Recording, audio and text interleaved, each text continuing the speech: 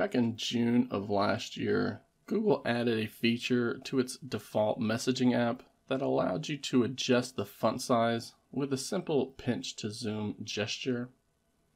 Now, this change surprised some people, but for most, it was a welcomed addition to the app because it was a gesture that made it so easy to change. However, for others, this has become an issue because the company never added an option to turn it off.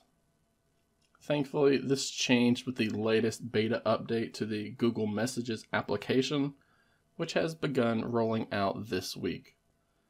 I'm currently seeing this change on version 20220209.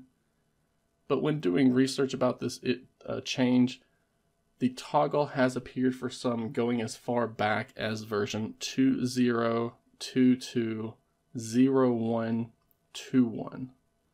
Currently on my device, I am enrolled in the beta, and the latest beta update includes this change. So for those who are not familiar with this feature, when we load up a text message in Google Messages, we can do a pinch to zoom which will adjust and change the font size. So we can increase the size of the text or we can decrease the size of the text to a certain amount by simply doing a pinch to zoom gesture. Now this is how the feature works by default because the gesture has been enabled for everyone.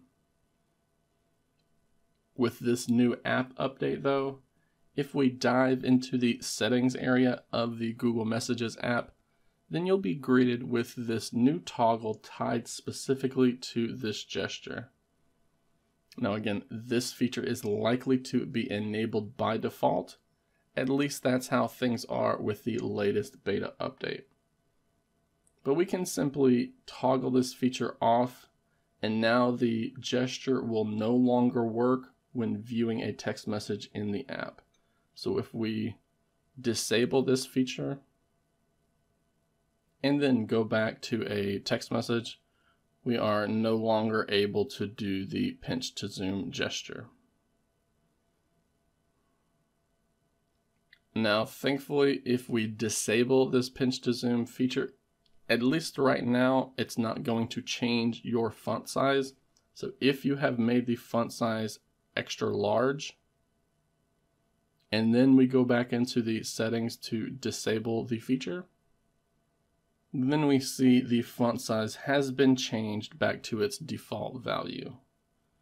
For others, at least in a previous update, the font size was able to stick to whatever size you set it to. But as of my latest beta update, it reverts back to the default font size. I really dislike seeing Google add these gesture features to apps without including a way to turn them off. I noticed them a lot with the many gestures that were added to the YouTube application over the last 12 months. Some people really love using these gestures, while others absolutely loathe them. Now, Google has yet to add an option to disable these gestures in the YouTube app, but it's nice to see this one has been added to the Google Messages app.